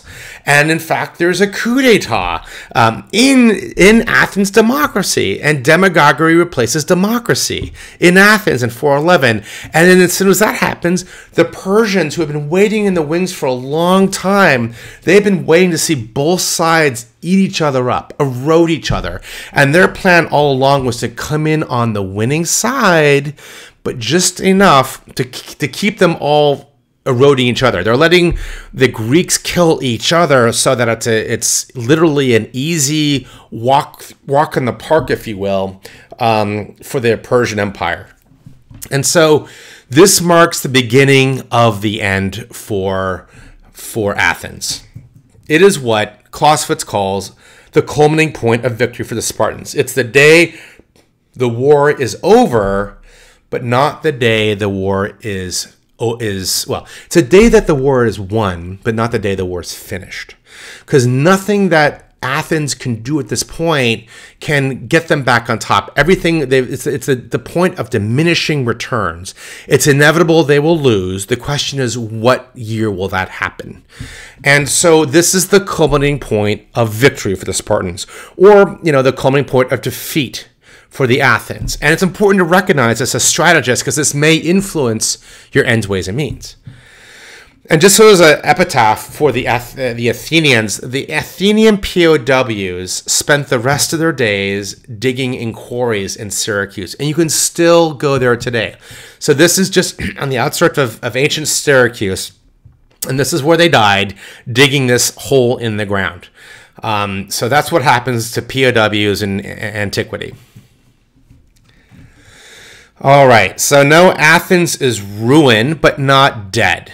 Athens is ruined but not dead. We now enter the last phase of the war, sometimes called the Decelean War or the Ionian War, mostly because that's where the fighting occurred. On the advice from Alcibiades, again, who was had, you know is now sitting in Sparta, ter- telling them how to beat his former polis that he claimed to love and lead, um, they they uh, it was a you know Sparta set up defense systems. Uh, it fortified a garrison town in Decelea here. It's a small, like, city or village. The reason it was strategically important is that it guarded vital trade routes from northern Attica, from Athens into the north. Because remember now, Athens does no longer has um, naval superiority. They had lost the, the bulk of their fleet in Sicily, and Persia has now joined the fight. And guess what Persia brings? A fleet. So no longer are they siege proof. So Athens requires money, wealth, you know, timber, grain from the north. And now that's cut off too because Sparta now occupies the, the, the, sort of the mountain passes that go from the north supply supply routes all the way into Athens. So that makes it a strategic hold, uh, or uh, on, or yeah, at least an operational art hold for Sparta on Athens. Also, the Ionian coast. This is where, uh, going back, you know, the 12th century, etc. This is where Greeks had settled um, during you know the, from Troy on to the Peloponnesian War, and there's a lot of Greek policy there. And they had broken away from the Delian League as soon as Athens showed it, you know, it's it had crusted as a power. But suddenly Persia is now focusing in on this war, and they're getting really nervous. So they then say, "Okay, the Delian League's a good good thing again." So they switch sides. They join Athens yet again and say, if you lead us, we will follow. It's going to be, you know, it'll be more in our terms, but, you know, Persia is now in the mix. So for those who live on, you know, arguably Persian soil, they're getting super nervous. Um, So Corinth and Syracuse also are slow to act. So we're asking ourselves like why is this last phase of the war the culminating point has been has been reached. So why does it still take, you know, nearly 10 years, 11 years for Athens to die, if you will. And another reason is because Corinth and Syracuse are slow to get their fleets into uh, the Aegean and Again, the Ionians uh, are now part of the Delian League against the Persian Empire. And this is the important part is that the, the Athenian or the Delian League fleet is still a force to behold. It is no longer decisive like the old Athenian fleet, but Athens kept 100 ships in reserve. They now have the, the, the attention and the resources of the Delian League. And guess who it's led by? Yes, that's right. Alcibiades. So Alcibiades, after he got c- caught sleeping with the king's wife, fled Sparta and defected back to Athens. And they put him in charge of leading the fleet. And apparently he did a pretty good job. Um, so they they achieved critical victories uh, uh, at you know places like Cyzicus against the Spartan fleet uh, and also uh, near the Straits Isthmus. Um, but and also importantly is that Alcibiades and the fleet did not recognize the coup d'etat that happened in Athens in 411. And this coup d'etat, just so you know, it was because uh, many Athenians felt like democracy had failed them. And they replaced it with uh, a committee of, executive strategic leadership who could make this, you know, decisive actions in war, who could think strategically and not come up with these uh, silly strategies to go to Sicily, led by demagogues like Alcibiades, and but then this this sort of like the council of like it was forty it was 40 men, um, quickly became demagogues. And they were actually relatives of Plato. And Plato was invited to join them in 411, but he was, but he said, no, thank you. I'm really just a scholar. Um, he talks about this later on in his life, uh, right before he's died, he's like 70 years old. He talks about in letters about this period of time, which is very interesting for those who want to know about the Athenian um, coup d'etat. Um, but with the, since the Athenian coup, coup makers couldn't get the fleet to obey them, they were kind of hobbled. They really didn't have much, pol- you know, in terms of armed politics. They had no, they had the politics, but no armed.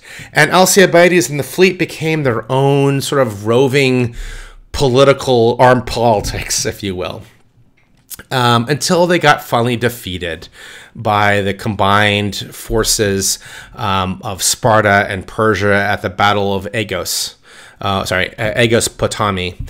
Uh, and it was led actually by a skillful Spartan general called Lysander. There are many Lysanders in Spartan history. And it was the end of Athens as a power in antiquity in 404 AD. I'm sorry, 404 BCE. But it was also a Pyrrhic victory for Sparta, too, because it was too weak to stand. I mean, Persia, again, was dragging its feet because it was hoping that Sparta and Athens and the other polises would basically eat themselves to death, eat themselves up uh, to the maximum extent possible. So Persia was also very slow to act.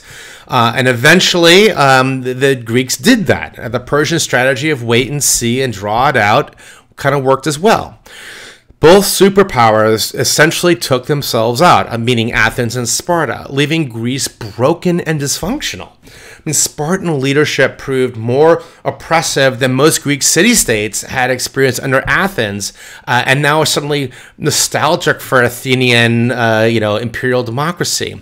Greece defended uh, its you know found itself into further descended into further turmoil, and wars broke out uh, between other city states until eventually. King Philip II of Macedonia in the north swept down into Greece and sort of took it wholesale because it was so weak. And he's the father of Alexander the Great. And that was at about 338 AD. And then came the Romans, and the rest is history, as they say. So the Peloponnesian War forever ended Greece's golden age. And, you know, the Peloponnesian War is more than a case study of strategy. It is a 2,300 year old moral tale of human aspirations, of insecurities, of power and hubris.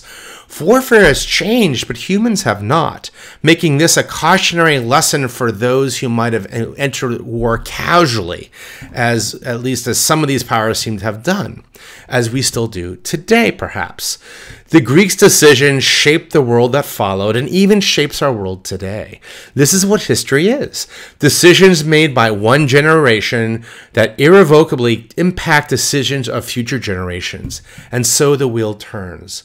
The best we can do is learn from our past. So, in conclusion, I want you to think about these brain teasers. Who really won and why? I want you to assess Spartan and Athenians, their assessments of each other's, uh, what was the critical thinking quality, and the resultant strategies that stem from them. Were ends, ways, means balanced? Were they feasible? Were they acceptable to their societies and allies?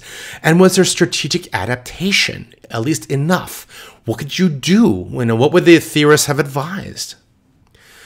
Also, the Peloponnesian War was not one war really, but many, with interspersed you know periods of war and peace. Yet Thucydides kind of lumps them together into a single 27-year conflict. Is this valid? Does you know does World War One and World War Two make more sense as a single war? Other wars too. So should we get beyond thinking about war or peace, but some version of war and peace? And also, as the war went on, Athenian democracy hardened and finally became an autocracy. Does this case tell us something universal about democracies in war, especially ones that protract? And do you believe in the so called Thucydides trap? Uh, many people do. You know, uh, Thucydides writes that war was inevitable and was caused by the growth of Athenian power and the fear this caused in Sparta. But is war inevitable between rising powers and ruling ones? Are there counterexamples in history? And can the Thucydides trap really be a trap of our own critical thinking? You can learn more about these strategic ideas in my book, The New Rules of War. Uh, if you have any questions, please please feel free to email me. This is my personal email address, inquire at seanmcfate.com, and my my website, uh, www.seanmcfate.com. Um, this is Dr. Sean McFate. Um, I hope you've enjoyed today's case study and that you learned something from it. That war is, even though it's 2300 years old, still has much to teach us.